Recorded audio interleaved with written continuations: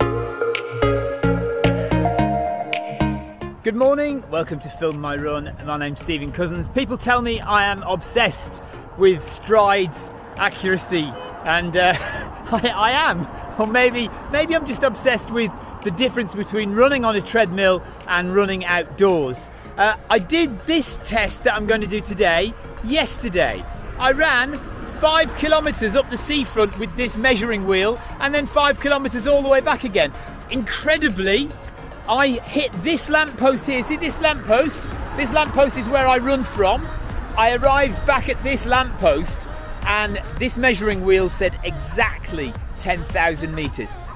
Exactly 10,000 metres. Unfortunately, about three kilometres before the end of the run, my camera battery died. So I'm doing it all again today, but at least that means we'll get um, a double check on the accuracy of the measuring wheel um, to see if it does do 10,000 metres exactly again. Uh, so the idea is we run five kilometres out and five kilometres back. What I'm going to do is I'm going to have two watches on, the Phoenix 6S on my right wrist uh, using optical heart rate and the Fenix 6X Pro on my left wrist using a chest strap for heart rate. Both watches will be using a Stryd foot pod. The Fenix 6S on my right hand will be using the old Stryd foot pod and the Fenix 6X on my left hand will be using the Stryd Wind, the newer Stryd foot pod. So two Stryd foot pods, two Fenix 6 watches, one measuring wheel. Uh, let's see what we get by the end of the run.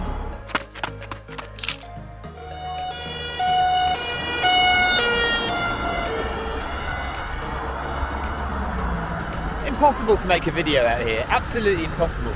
Right, both uh, Fenix 6 watches are using the Stryd foot pods for distance as well. So distance and pace always from the Stryd foot pods and they're both at 100% calibration. So essentially zero calibration on both Stryd foot pods. And one more thing to mention before we start uh, the, the distance will be measured by the measuring wheel. So I'm going to run 10 kilometers per hour and I'm going to try to get it to match to the measuring wheel. So when the measuring wheel says 10k um, that's when I stop um, and hopefully that'll be one hour of running if I can time it correctly. You can see the measuring wheel is set at zero and we're right beside this lamppost here which is just after the blue uh, bus shelter there. So that's where we're starting from. So when we get back here, I want that to say 10,000 meters exactly. Let's go then. Watch number one. Start watch number one. Start watch number two and away we go running.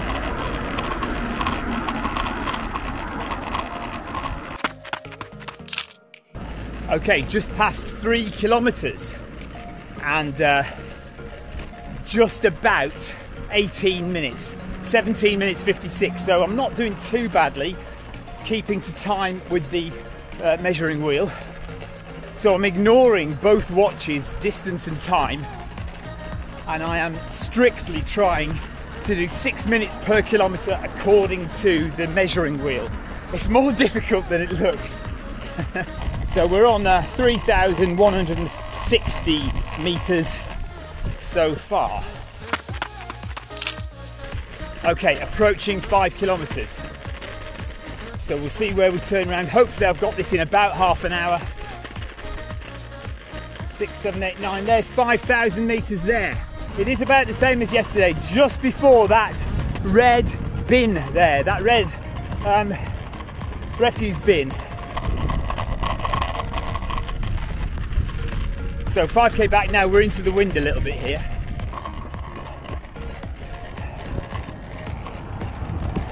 Uh, just an update on the Stryd foot pods. As we found with the track test, the Stryd wind is measuring long and the old Stryd, the non-wind version, is measuring short. It's quite windy coming back, so I think the power number for the Stryd wind might be quite elevated. And we're about uh, approaching seven and a half kilometers in now.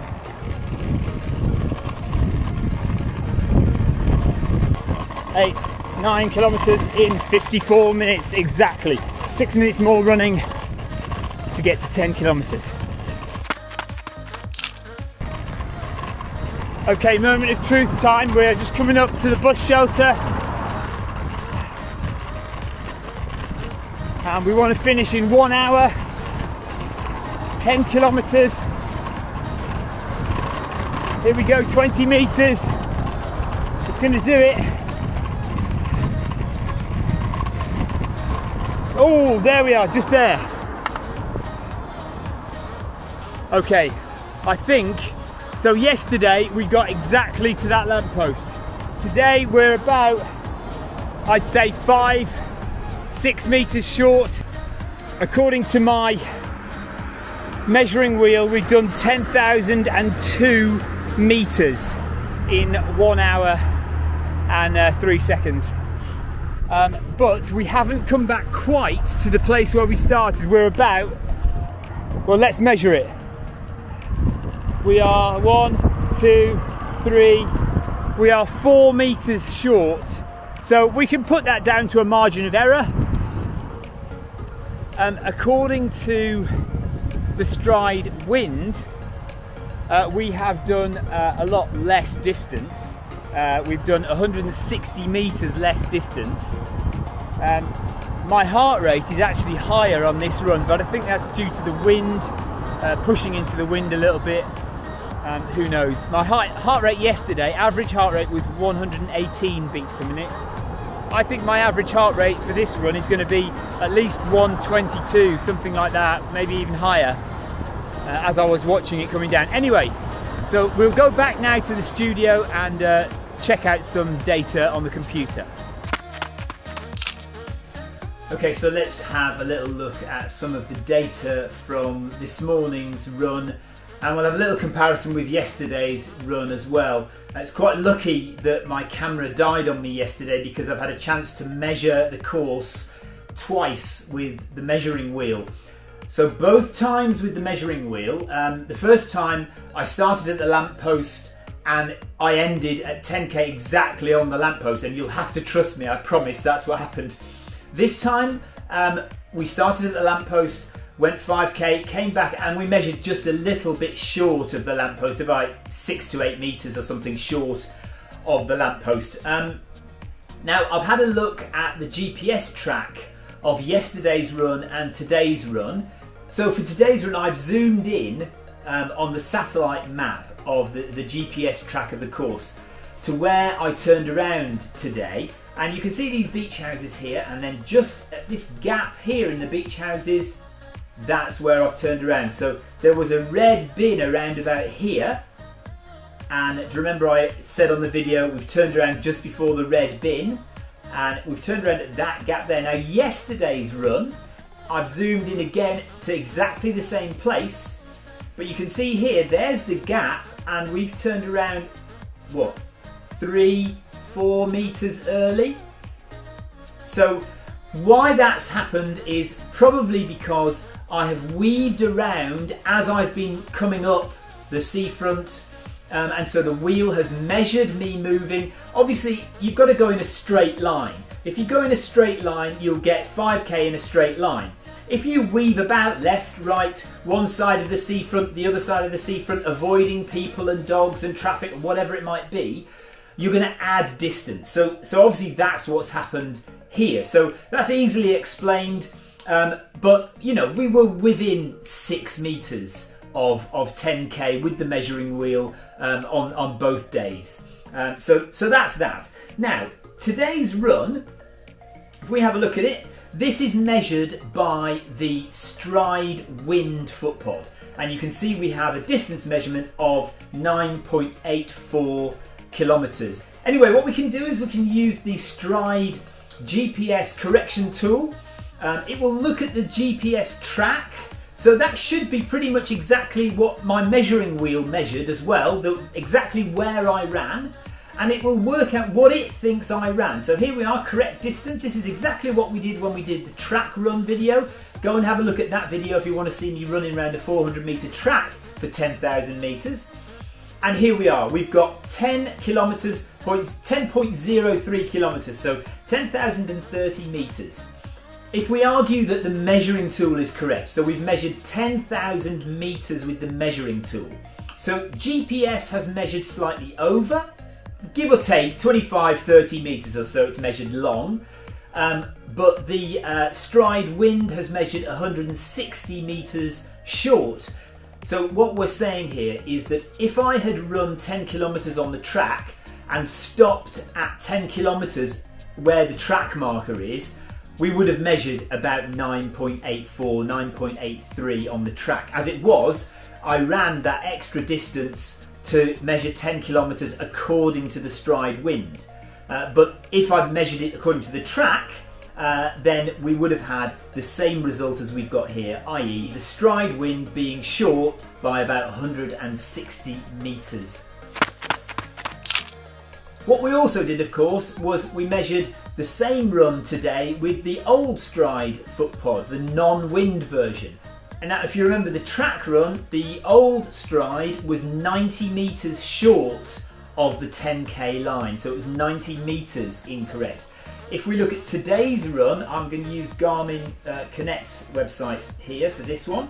Uh, I had it on track running mode on the uh, Fenix 6S, which was on my right wrist, the white watch. And look, we've measured 10,130 meters. So a bit longer actually than on the track. Uh, the non-Stryd wind, or the non-wind Stryd, has measured an extra 130 metres as opposed to the 90 metres that it was long when we did the track run. Uh, so that's interesting to note. So we've had this kind of similar results really. The, the non-wind Stryd uh, is measuring long, longer than 10,000 metres and the wind Stryd is measuring shorter than 10,000 metres and we have uh, good measurements on the track we know the track is 25 times round the track. That makes 10,000 metres of running. And we've measured a 10,000 metre course on the seafront with a measuring wheel. And we know we've got 10,000 metres, uh, give or take a few metres here or there, within a margin of error. We know we've got a 10,000 metre course along the seafront. So we know that those Stryd foot pods essentially are, are measuring incorrectly. Now, not by much. This, I mean, this is less than 2% error. And, and Stryd would argue that that's probably within an acceptable margin of error, less than 2%. Uh, 10,000 metres, if you run an extra 130 metres, it's not really here nor there, is it? If you saw that again, like I said in the track video, if you saw that on your Strava feed, you'd, you'd probably just ignore that 130 metres extra, or you you probably actually if you ran a 10k race and you saw that it only measured 9.84, you were 160 meters short, then you might, well, you might question that actually. You might not be too happy uh, that it didn't measure the full 10k. And you'd be questioning the race organiser and saying, why, why is this race short? When in fact it's not short, it's the Stryd that's measured it incorrectly. Okay, there we are. Um, we can also look um, here at um, some other stats if you'd like. Um, heart rate, I measured heart rate with the optical heart rate sensor on the Fenix 6 on my right wrist and with a chest strap for the Fenix uh, 6X on my left wrist. Um, and uh, here you can see uh, pretty much identical. Uh, all you can notice is that the purple line comes slightly before the blue line and the heart rate strap is slightly quicker at reacting than the wrist-based heart rate. And you can see down here, uh, the old Stryd on the Fenix 6S measuring with optical has measured around about 121 beats per minute and so has the Stryd wind uh, with the chest strap, you know, give or take uh, 120.63 so it would round it up to 121 beats per minute so it's the same basically. Uh, cadence is pretty much identical and here you can notice the speed of the two foot pods. Uh, so the old Stryd, uh, average pace of 10.13 kilometers per hour and the Stryd wind 9.86 kilometers per hour and you can see that here pretty much the whole way through the old Stryd is measuring faster than the Stryd wind.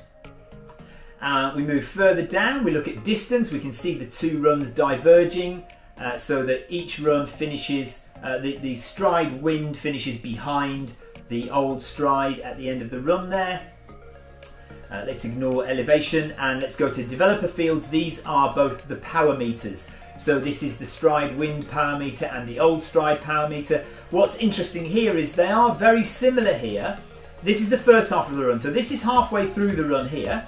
This is the first 5k where there was no wind. Now, uh, they look almost identical, but if you look closely, you will see that the Stryd um, wind is slightly behind the old Stryd. So the power numbers are slightly greater for the old Stryd foot pod. So 177 to 175 there, look. Or here we've got 176 to 172. Or further along we've got 181 to 176. But then we move to the second half of the run and we notice that suddenly the Stryd wind picks up and that's because we're getting a lot of benefit of extra power given to us by the Stryd wind's air power feature.